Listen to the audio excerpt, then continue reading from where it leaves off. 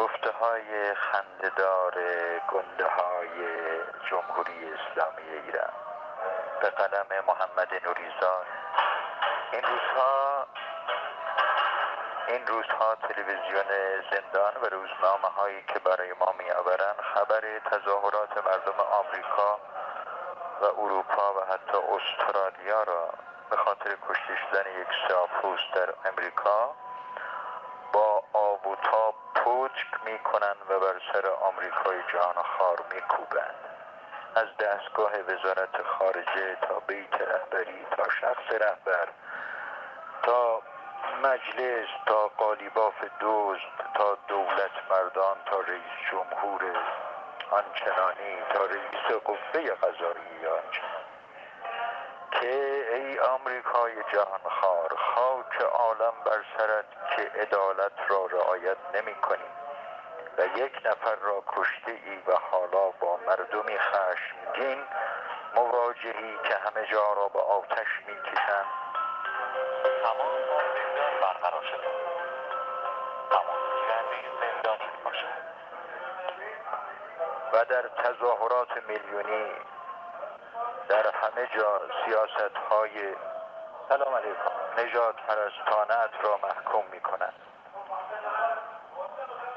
سخنان خنددار گنده های بیخاصیت جمهوری اسلامی در حالی بر لب ما خنده می نشاند که در جمهوری اسلامی هر تجمعی هر چند ده نفر با سرکوب شدید سپاه و اطلاعات مواجه می شود و زندانهای چپ و راست برای معترضان تجویز می شود مسخره تر این که ادبیات سخنوران جمهوری اسلامی به سردمداران آمریکای جهانخوار بگونه است که در ایران محض عدالت جاری است و باید دیگران و به ویژه آمریکایی ها باید بیایند و شیوه های عدالت گستری را از نوابق جمهوری اسلامی بیاموزند. این نوابق توهی مغز هیچ از هشتاد نفری که در تشریع سردار آدمکشی چون قاسم سلیمانی زیر دست و پا شدند و اسمی از آنان در میان نیست بر زمان نمی آورند و از خود کشانده شدن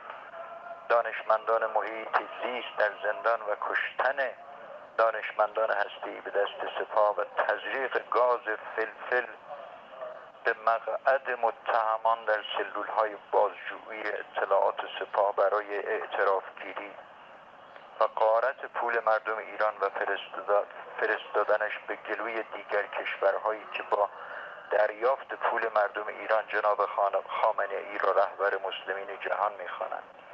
این نوابق پوک مغز هیچ از کشدارهای جاده ای که سالانه 20 هزار نفر از مردم را به زیر خاک می‌برد نمی‌گویند. نمی‌گویند مردم آمریکا به خاطر کشته شدن یک نفر می‌توانند میلیونی تمام زندان برقرار شده. تمام زندانی باشد. می‌توانند میلیونی به خیابان ها بریزند و همه جا را به آتش بکشند اما در ایران هیچ دو نفری نمی‌توانند به خاطر شلیک سپاه به هواپیمای مسافربری در جای اعتراض کنند خندهدارترین ها را سید ابراهیم رئیسی می‌زند که جدیدا از حجت الاسلامی به آیت اللهی نقل مکان کرده و در پروندهش کشتار چندین هزار زندانی تا ابد خونخواهی می کند و می درخشد امروز در روزنامه بیخاصیت اطلاعات که چند تا چند تا در اتاقهای ما میریزند دیدم که همین سید ابراهیم رئیسی قاتل رئیس قوه قضاییه گفته فریاد آزادی خواهی با برخوردهای پلیسی خاموش نمی شود انگار که در ایران مردم قلوب قلوب آزادی سر می‌کشند و وقت و بی وقت آزادی خواهی می‌کنند. و باز گفته خشم مردم به پاخواست در جهان نتیجه زانو گذاشتن آمریکایی ها و نظام سلطه بر جلوی مستضعفین جهان است.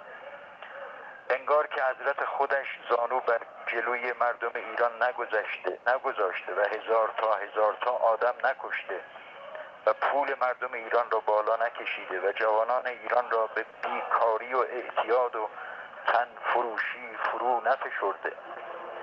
خنده دارترین سخن دیروز این ملای قاتل این, این است که به آمریکایی‌ها گفته رفتارتان را تغییر دهید و به بیعدالتی پایان دهید. انگار که خودش و رهبرش در این چهل و یک سال سرطانی ملایان حاکم بر ایران و سرداران سیری ناپذیر رفتار آمیخته به کشتار و قارتشان را تغییر داده و به عدالت روی بردن خیلی خندیدم. البته تلخ.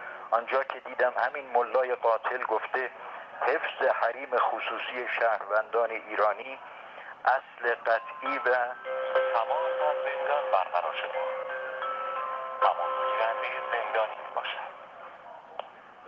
حفظ حریم خصوصی شهروندان ایرانی اصل قطعی و غیر قابل اغماز است. اصلا نه انگار که سرداران سپاه در حمام معترضان دوربین کار می‌گذارند تا از بدن برهنه همسر و فرزندانشان عکس و فیلم بگذارند و همانها را در پرونده متهمین بگذارند که ببینید بدن لخت زن این متهم را.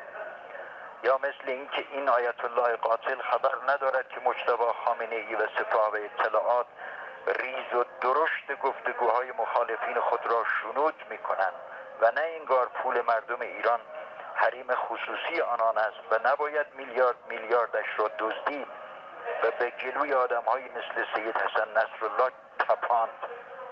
خلاصه این روزها به خاطر کشته شدن یک نفر در آمریکا زبان مسئولان گنده جمهوری اسلامی واگشوده شده و کشتارهای خلخالی و لاجوردی و پور محمدی و رئیسی و سپاه و اطلاعات از یاد رفته. بدرود. محمد نوریزاد بیستم خرداد 99 زندان اوین.